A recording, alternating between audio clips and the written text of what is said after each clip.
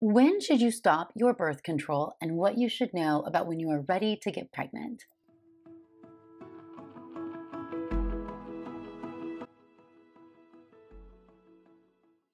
Hi friends, I'm Dr. Natalie Crawford and welcome back to the channel. This is a channel to talk all about your body and your fertility. I'm a board certified OBGYN and REI, so I'm a fertility doctor, so I talk about this every single day. Would love it if you would subscribe to the channel. That way you can get to know more of these videos and know when we're releasing new information. I get asked all the time about that transition from preventing a pregnancy into wanting to become pregnant. And to be honest, there is so much information that people don't know or that I wish they knew if they were transitioning from their contraception on to let's track our cycles and let's see what's going on. The first thing to know is we're going to dive through a few different types of contraception really quickly and what I want you to know when you're stopping them and starting to track. So, the first thing to know is that let's start with condoms. Condoms are not any type of hormonal contraception, they are purely just a barrier method. Meaning, if you've been using condoms for protection, and we'll go ahead and put in like the withdrawal method with this too. Nothing is changing with your body, right? So, if your periods are already not regular and you're wanting to get pregnant, you should go see a doctor before you start trying because that's just going to lead to frustration if you are skipping months or having very irregular periods. I know we don't always love having a period. It's not fun to have cramps or PMS symptoms or bleed, but it is normal to have a regular, predictable period somewhere that comes about every month. Now, what's normal for you may be different than what's normal for everybody else.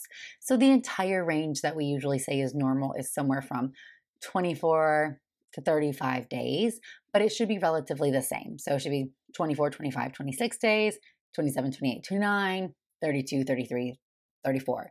Shouldn't be 24 one month, then 35, then 27, then 39. That, that's irregular.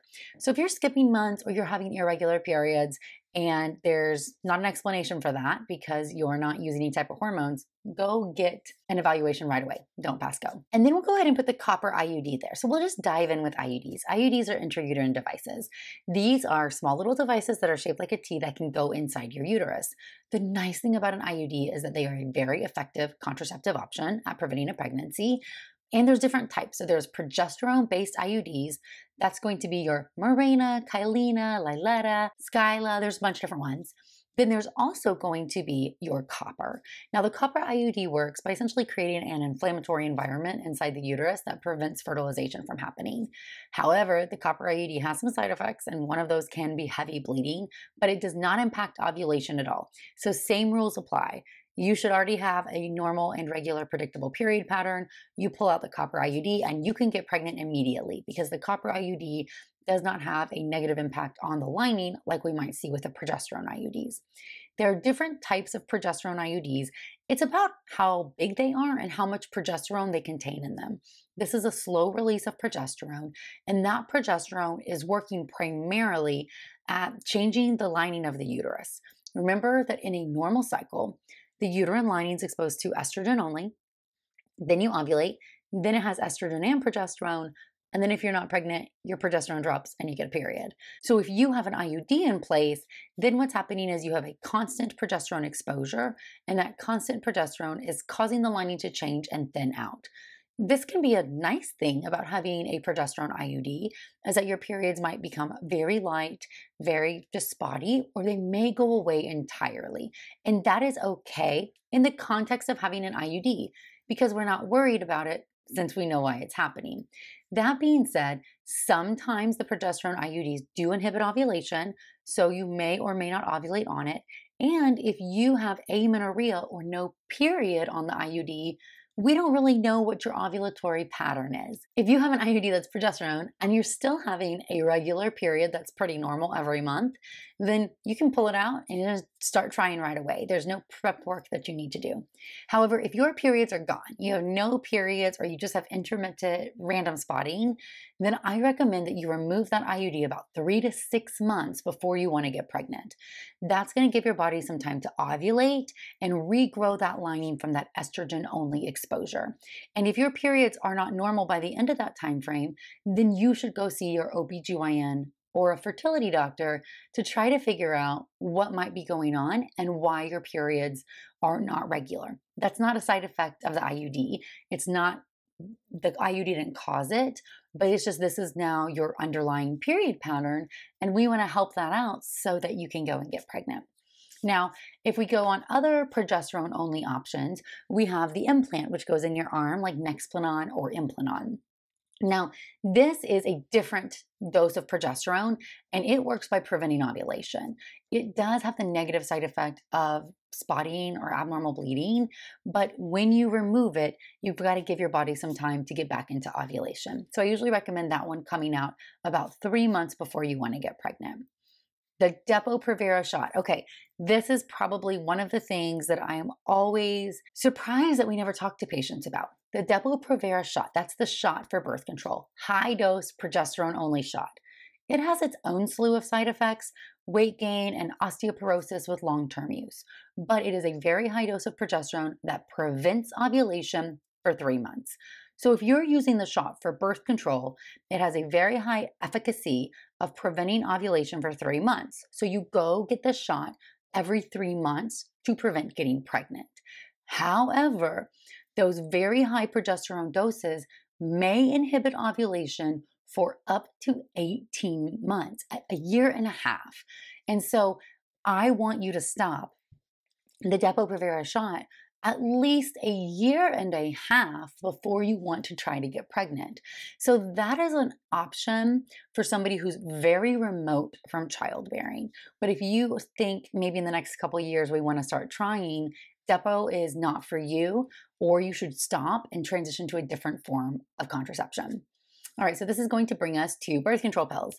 So when we say birth control pills or the pill, for the most part, we're talking about the combined estrogen progesterone pill. Nowadays, there are so many different versions of this. So, ethinyl estradiol is the estrogen in the pill, and it comes in different doses. So, you have a standard dose, you have a high dose pill that we don't really use anymore, and then you have a low dose and a low, low dose. And then you have a variety of different progesterones. I will say the side effects from the birth control pill when people have side effects are typically from these different progesterones. So, if you want to use the pill for contraception, and you don't really tolerate one because of some of the side effects, you can always try a different combination of these medications. Now, the pill is very short acting, and I think this is a big misnomer. And I've seen a lot of people trying to take advantage and tell you that the birth control pill lives in your system for a very long time and you need to buy their cleanse or their supplement or something to flush it out of your system. But think about this the pill is taking estrogen and progesterone. That estrogen is stopping the brain from sending out FSH. If you miss a pill dose, you could ovulate. So, this pill is not living in your body for an extended amount of time.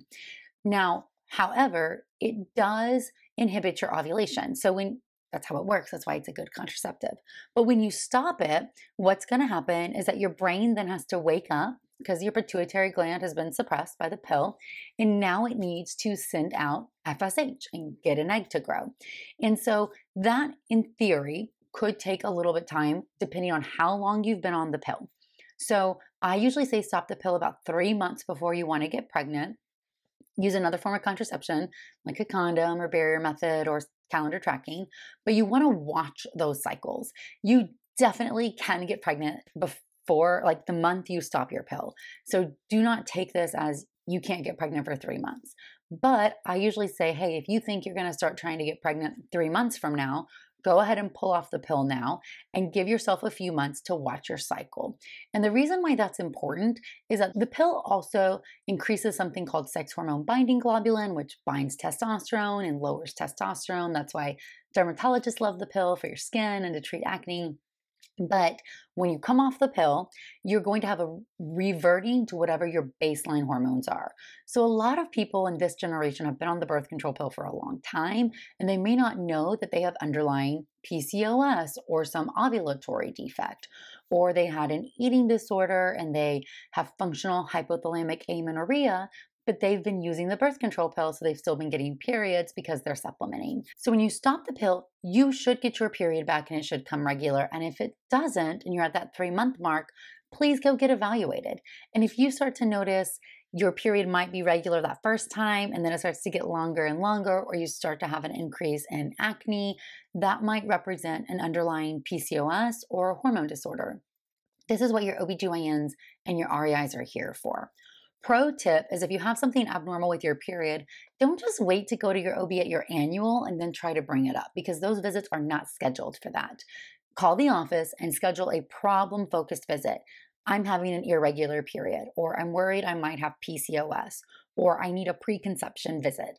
That's going to help your doctor know what to focus. And you can always come see a fertility doctor. You don't have to wait for a referral or you don't have to be trying for a certain amount of time. I do fertility testing and talk to patients who are concerned about period abnormalities and getting pregnant every day. The other thing to note is that the birth control pill does not have a post birth control pill syndrome. Again, it's just representing whatever is really going on in your body.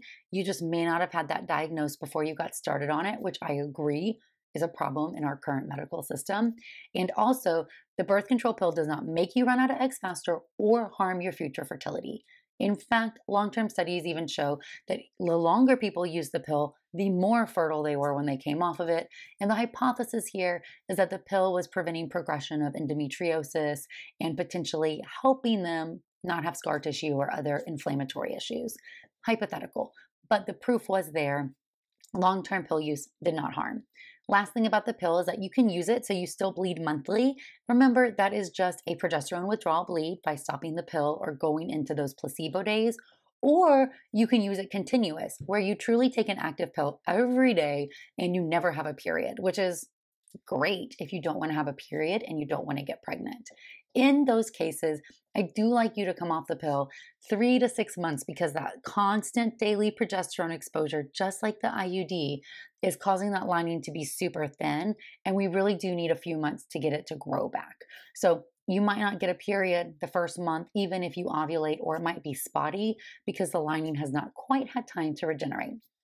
All right, well, I hope this video helped. If you are looking at trying to get pregnant and thinking about your contraception and how you're going to transition from your contraception to your tracking, I definitely recommend that you use some type of app to track your cycles, even if it's to the calendar in your phone, but something to mark full flow, spotting, and when your periods are starting and ending. And that is going to help you determine your fertile days. I do have an entire video on tracking your cycle and how to determine what your fertile days are, so you can go ahead and go and check that out.